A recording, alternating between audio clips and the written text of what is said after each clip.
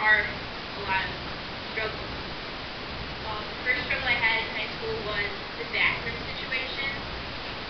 There was a point where they told me, you know, you can no longer use the women's restroom, but you can't use the male restroom.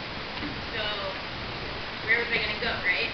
So I had to fight the administration to let me use the staff bathroom, and they said no.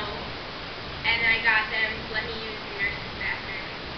Um, now my school's really, really big. Um, we have 2,000 students, and you know the nurses' bathroom is far away, so I have to like time out when, like when I was going to go, and then in between one class and one class, was just so far away. It was, you know, I would be missing like 20 minutes of class just to the bathroom to walk. So then I, I complained to administration about that, and they finally let me use one of the staff bathrooms. So now I have, you know, one bathroom on this side of the school, one bathroom on this side of the school, and it just made it a lot easier.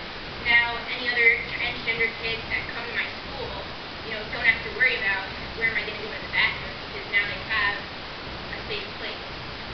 Um, the second um, thing that happened in school was the yearbook. Um, when I was in 10th grade, which was last year, so I skipped 11th, um,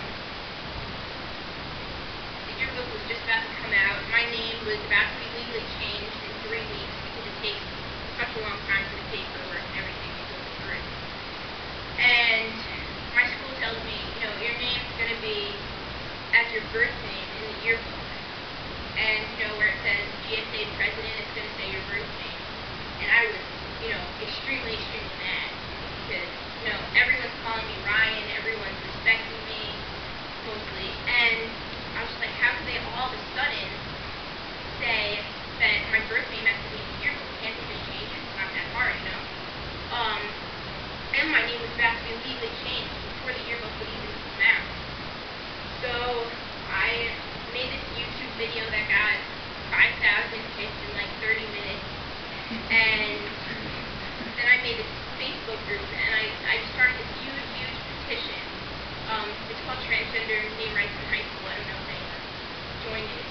But um, it just got huge um, attention from everyone in my school, people in surrounding high schools, and you know, my mom's like on the phone with the administration. I'm having meetings with them and telling them why my name should be the name that I choose in the yearbook. You know, I'm not picking some ridiculous name. Like I'm not asking you to call me like Fabulous Cassata or something. Like, I just want it to say Ryan. You know, it's a simple little thing. And if the school were to put my birth name in, it would say like everyone could disrespect me and call me by my birth name. You know, it just sends that message out to the students. And really it just makes a joke of me if the school were to do that. So um, my mom fought extremely, extremely hard and the principal called my house and said, you know, you guys win. Um, and I, you know, my name is in the yearbook as Ryan. Yeah. Um,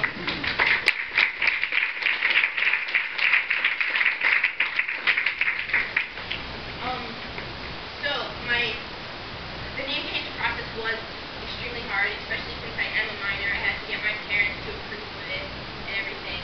Um, my dad didn't say yes until my mom and I were at court